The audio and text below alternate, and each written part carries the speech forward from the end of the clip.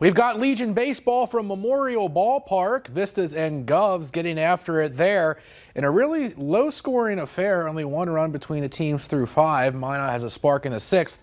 It's Jonas Bubach spraying one down the right field line, bringing home Braden McCarthy, giving the Vistas a 2 1 lead. Only one hit for Bismarck into the sixth, but they found a way. Two outs then, a nice diving stop up the middle, and comes up firing home. But Carter Clipful beats the throw to give the Governors a 3-2 lead. That would be the final score in that one. And Detroit Lakes walks off over Minot. In Dickinson, it was the Volunteers all over the Metros. Meanwhile, in Sioux Falls, it was the Sabre Dogs and Sunfish. Souris Valley trying to rally, but a hot shot is hauled in at shortstop for Sioux Falls.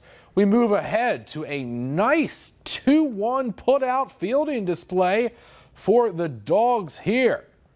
Out by just a little bit, but a tough turn coming up. A bases loaded hit by pitch allows the Sunfish to come home and score.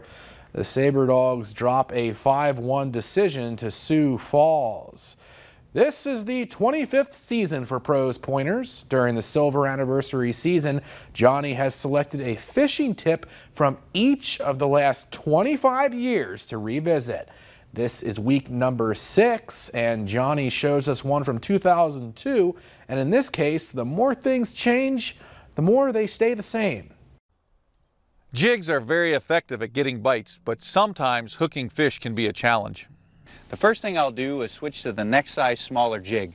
This lets the fish inhale the bait a little bit further, it gives you a little bit longer to set the hook. If that doesn't work, I'll switch to a stinger hook. This gives me an extra chance on the tail end of the minnow to grab onto those fish.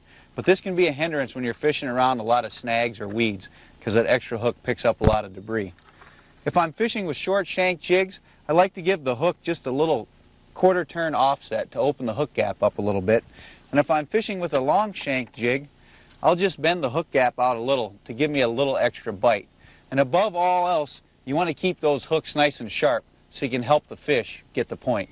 After the past five weeks of looking back at how things have changed, if I had to shoot this tip over today, I wouldn't change a thing.